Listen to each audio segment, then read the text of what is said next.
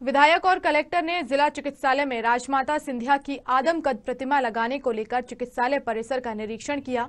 जिला कलेक्टर जितेंद्र सिंह राजे ने बताया कि पूर्व में नीमच विधायक ने जिला चिकित्सालय में राजमाता सिंधिया की प्रतिमा लगाने को लेकर चर्चा की थी।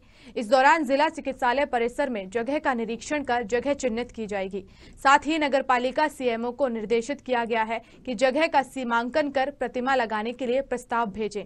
अब नीमच मंदसौर जिला चिकित्सालय में राजमाता सिंधिया की आदमकद प्रतिमा लगाने को लेकर भी तैयारियाँ चल रही हैं, जिसको लेकर जिला चिकित्सालय परिसर का निरीक्षण किया गया। जल्द ही चिकित्सालय परिसर में राजमाता सिंधिया की प्रतिमा स्थापित होगी। इस दौरान कलेक्टर, विधायक, जिला अस्पताल सीएमएचओ नगर पालिका सीएमओ ने जिला चिकित्सालय में निर्माणाधीन और नवनिर्मित भवनों का निरीक्षण भी किया। हमारे यहाँ जिला चिकित्सालय है ये।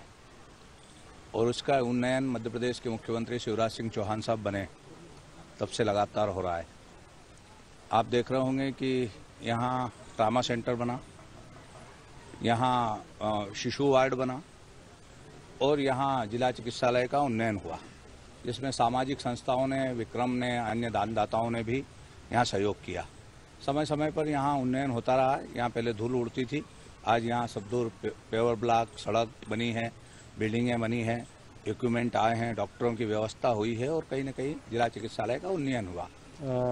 माननीय विधायक जी का हमारी चर्चा हुई थी और यहाँ पर एक राजमाता सिंधिया जी के नाम पे इस अस्पताल का नाम रखा गया है पूर्व में भी। तो यहाँ पे एक उनकी स्मृति में एक, उनकी एक बड़ी मूर्ति लगाने का प्रस्ताव माननीय विधायक जी ने दिया था। उसी के विषय में आज हम लोग ज़मीन चिन्हित करने के लिए आए हुए थे। कुछ ज़मीनें देखी गई हैं, इसको नगर पालिका को निर्देश दिया है। कि इनकी जो भी सीमांकन वगैरह करा के जो भी उपयुक्त ज़मीन है, उसको बनाकर शासन को प्रस्ताव भेजा जाए। हमारे